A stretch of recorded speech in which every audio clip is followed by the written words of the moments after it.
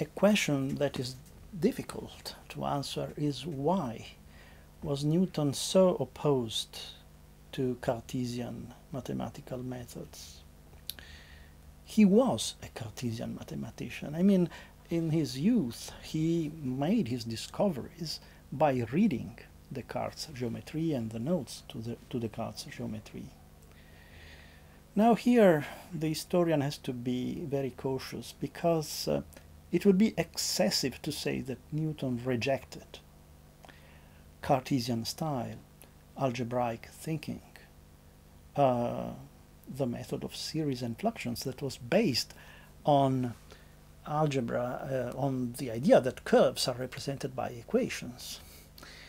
But, but, um, I think that it can be said that Newton came to consider these algebraic methods as heuristic methods, as methods that can be used uh, as tools of discovery.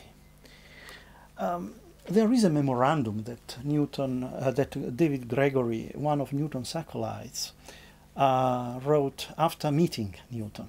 Uh, uh Newton's acolytes had this uh, often this habit of, especially David Gregory, of writing the the, the, the, ipsissima verba of, of the great master, the, the, the, the words that Newton had uh, uttered in front of them. And uh, in one of these memoranda, David Gregory writes, according to Newton, algebra is fit enough to find out, but entirely unfit to publish and to consign to posterity. So algebra is uh, a tool that you can use, but it is a tool that is not um, fit for being published. It is a tool of discovery.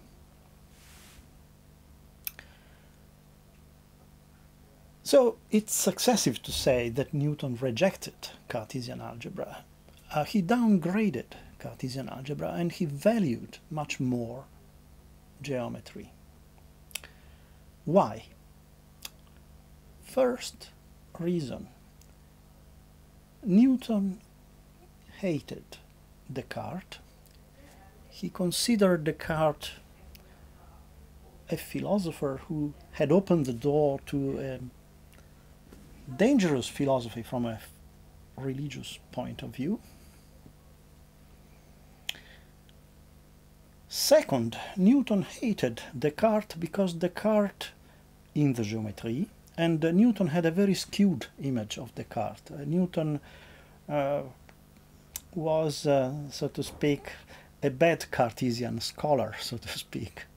But in the geometry, uh, Descartes says that uh, his method is superior to those of the ancients, and this for Newton was unacceptable. Unacceptable.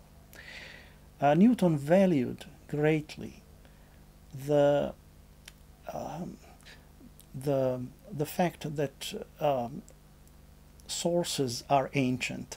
The farther you go back in the time, the better for him. And uh, in a certain measure, this holds also for mathematics. I don't mean that Newton thought that the ancients uh, had uh, the binomial theorem, for instance, or had uh, advanced into mathematics as he had done. Quite the contrary, there are uh, manuscripts in which Newton recognizes that mathematics has, has made important progress in his age. But for him, the ancients were right as far as the method they were employing, which was geometrical, not algebraic. Now, what is good in geometry? One thing is that a geometer never loses sight about the objects that he is considering. An algebraist is dealing with symbols to which it is, it was impossible to attribute a meaning. For instance, the square root of a negative number. What is that? Nowadays, after Argand, Gauss, Wessel, we know how to interpret geometrically the square root of negative numbers. But in Newton's times, these were just weird symbols. And um, a mathematician who is dealing with these symbols is doing something absurd. He is uh, manipulating symbols which have no meaning. So one reason why um, Newton was uh, so interested in recovering geometrical thinking, going against the trend of mathematics in his age to which he had so much contributed, is that geometry provides uh, a language which is endowed with content, I would say. And Newton says this. When we conceive uh, magnitudes as generated in time, when we conceived the objects to which we devote our attention as mathematicians as geometrical objects which exists in time and place, uh, we are talking about things that exist in rerum natura. We are talking about objects uh, that have an existence. Then in other parts of his work, Newton refers to the fact that these objects are visible to the eye. Therefore, there is also an interest in visualization. Another reason why Newton was interested in geometry is that in solving geometrically Pappus problem, he developed interesting idea in projective geometry. Now, projective geometry is a very serious thing, and uh, uh, Newton began to contribute new results in this field. This field was practiced in on the continent by Desargues, Pascal, and Philippe de la Hire, whose work, the work of this last mathematician, Newton knew and cited. So Newton had the impression that uh, in his age, yes, everybody was crazy about Cartesian algebra, William Oughtred, and uh, uh, and everybody was crazy about uh, extension of Cartesian algebra to a new symbolical tools such as infinite series. Newton was a master, one of the best uh, mathematicians in the field of infinite series.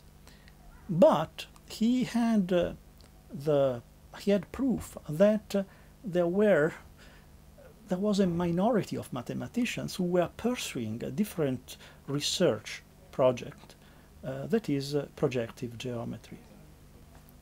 In this field, in the field of geometry, in the 1670s, late 1670s, early 1680s, Newton developed also not only projective geometry, but also an approach to the method of fluxion based on geometrical limits.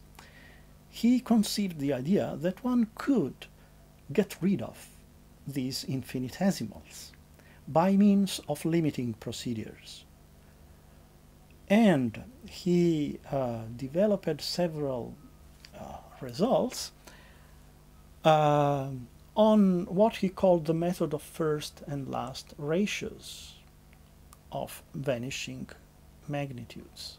This method was published in section 1, book 1 of the Principia. Um, so these ideas were not new with Newton, of course, these ideas, the idea of basing infinitesimals on limits procedures, were ideas that were quite widespread in Newton's times, uh, but Newton gave a decisive uh, um, contribution to this um, more rigorous uh, approach to, uh, to the method of fluxions.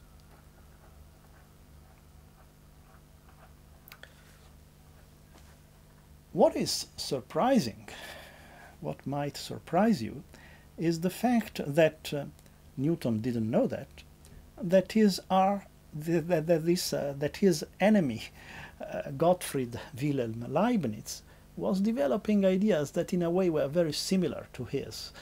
Uh, that is, um, uh, in 1675, more or less in the same years in which Newton was embarked into this project of eliminating infinitesimals, Leibniz was doing very much the same thing in a manuscript that has been published recently uh, on the quadrature of conic sections.